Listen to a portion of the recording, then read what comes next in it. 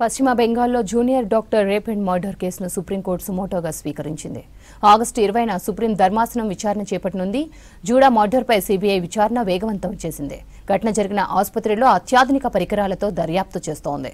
మరోవైపు నిందితులను కఠినంగా శిక్షించాలని దేశవ్యాప్తంగా ఆందోళనలు కొనసాగుతున్నాయి.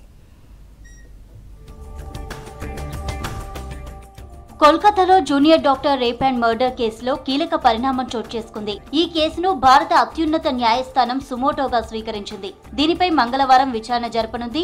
దేశవ్యాప్తంగా సంచలనం సృష్టించిన RG Kar medical college junior doctor murder పై సుప్రీంకోర్టు స్పందించాలని పలువురు పిటిషన్లు వేశారు.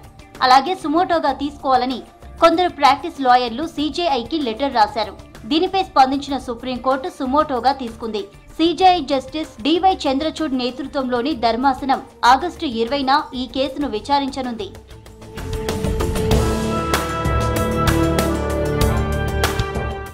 జూడా రేప్ అండ్ మర్డర్కు నిరసనగా కోల్కతాలో నిరసనలు కొనసాగుతున్నాయి.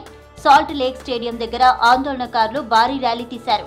ప్రభుత్వానికి వ్యతిరేకంగా నినాదాలు చేశారు. ఘటనా స్థలానికి పోలీసులు కూడా భారీగా చేరుకోవడంతో ఉద్రిక్త పరిస్థితి నెలకొంది. కాసేపు నిరసనకారులు పోలీసులకు మధ్య తోపులాట జరిగింది.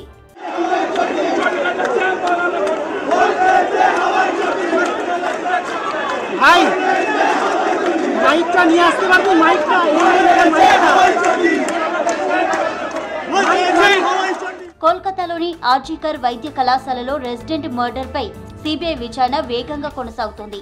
రేప్ అండ్ మర్డర్ జరిగిన ఆసుపత్రిలో అత్యాధునిక పరికరాలతో దర్యాప్తు చేశారు అధికారులు. ఇప్పటికే ఓ నిందితుడిని అదుపులోకి తీసుకుని విచారిస్తున్నారు.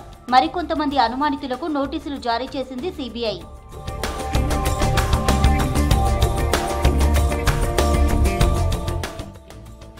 జూడా మర్డర్ ఘటన టీఎంసీలో ప్రకంపనలు సృష్టిస్తోంది.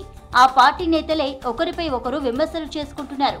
కళాశాల మాజీ ప్రిన్సిపల్ పోలీస్ కమిషనర్ను కస్టోడియల్ ఇంటరాగేషన్ చేయాలనడంతో అంతర్గత కొట్లాట మొదలైనట్టు తెలుస్తోంది.